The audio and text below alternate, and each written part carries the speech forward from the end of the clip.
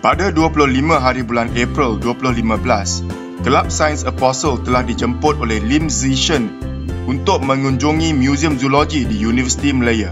Uh, we have a visitor's book. Okay. Uh, we uh, end the year we uh, photocopy and justify the VC we need. Uh.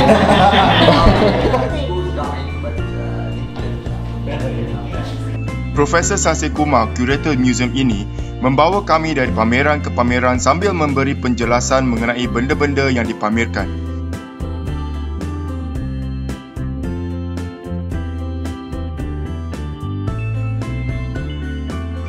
Pada permulaan lawatan kami, Profesor Sase Kumar menjelaskan evolusi kehidupan.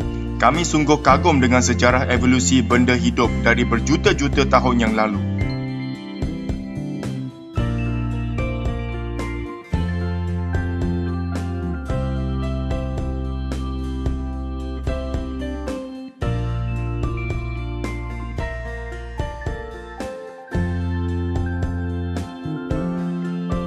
When people tell you this is not true that God created well how did you know God created everything so what's your what is your answer I mean, it's a good question. Even in the US, like Texas State, they banned the teaching of uh, evolution evolution.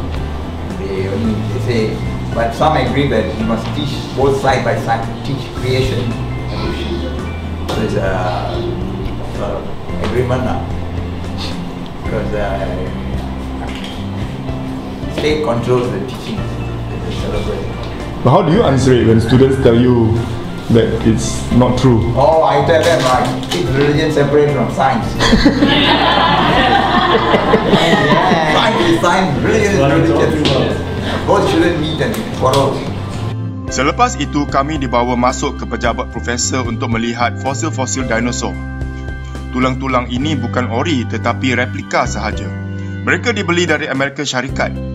Saya terperanjat melihat saiz Ichthyosaurus yang sebesar seekor anjing sahaja dan trilobite yang sebesar hujung ibu jari saya. Trilobites. wait that, that's the size of trilobite ah? Yeah, embedded in the, but they are different sizes, small Okay. Embedded in the Cambrian rock. If uh, you were students, I ask you to answer me why, why, why are insects so common? Think. Uh, I don't know how many species of animals exist on Earth. Five million. Museum ini sungguh unik. Ia adalah museum zoologi yang tunggal di negara Malaysia. Museum ini dibina pada tahun 1999 dan terdapat 20,000 spesimen serangga, 2,000 spesimen ikan, 600 spesimen katak, 400 jenis reptilia, 600 jenis burung dan 800 spesimen mamalia.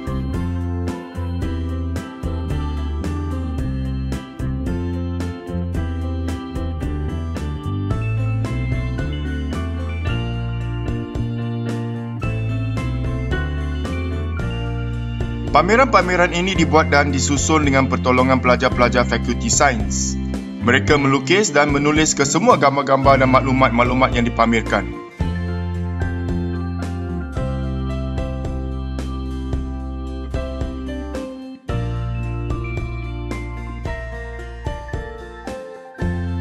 Mengumpul spesimen-spesimen dari museum ini mengambil masa 60 tahun. Banyak spesimen-spesimen diberikan oleh Raffles Museum Singapura, Museum Negara Malaysia dan FRIM.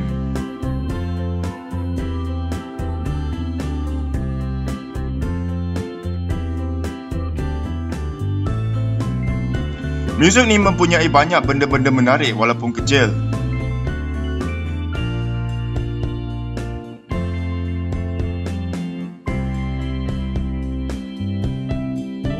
Fungsi utama Museum Zoologi ini ialah untuk memberi pendidikan mengenai kemewahan dan kepelbagaian fauna asli di Malaysia serta cara pemeliharaan flora dan fauna alam semula jadi kita.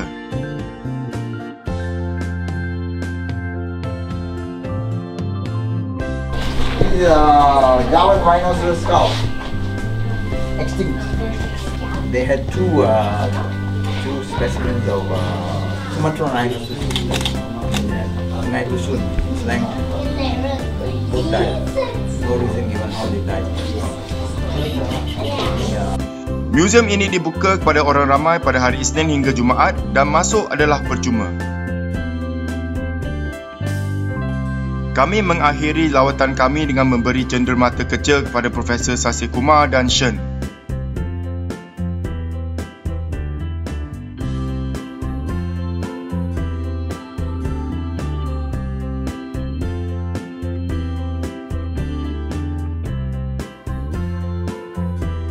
Last week I was in the uh, Singapore National, they opened the National Museum there.